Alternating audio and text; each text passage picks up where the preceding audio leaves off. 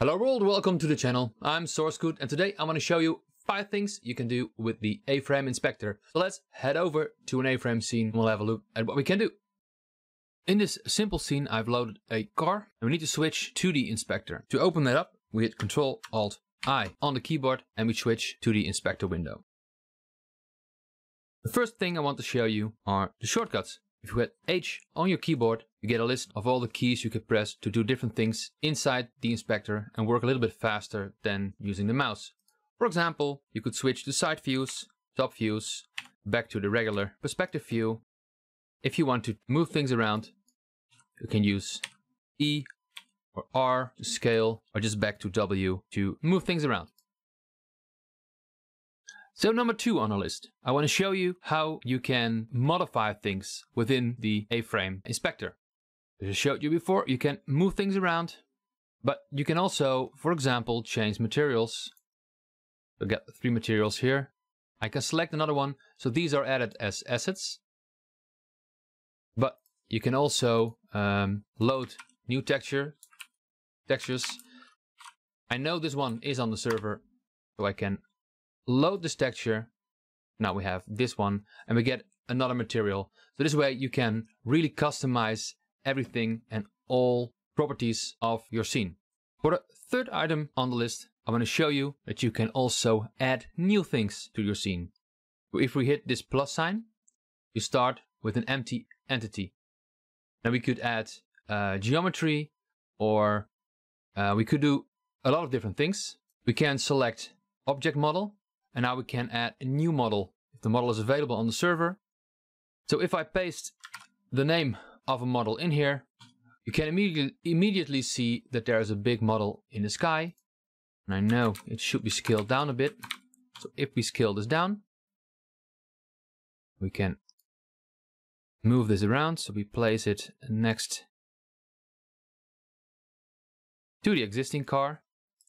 Now there's still a material missing. So we need to add another component to this entity, which is a material. And we've already seen that we can select materials, so we can just pick one. And now we have created a new object to our scene. For number four on my list, I want to show you how you can save your scene. So now we have created a very cool looking scene and we don't want to lose it. What we can do is either click here on GLTF and select or download the entire scene as a um, binary file containing the scene. We can also select, for example, a car if we have really customized this model. And then on top here, we say export to GLTF and it downloads this entity. So for number five on the list, I want to show you something really, really cool. When you are working on your scenes, you often are moving things around and changing things, as I showed earlier, for example with the material. Now say we move this car to uh, another position and we rotate the car like, like 45 degrees. Now when the scene opens, uh, we look at the side of the car instead of at the front and it's a bit more up close. Now I do want to have that other material. Let's pick this one. And now I want to save these changes back to my scene. And we can do that in a couple of ways.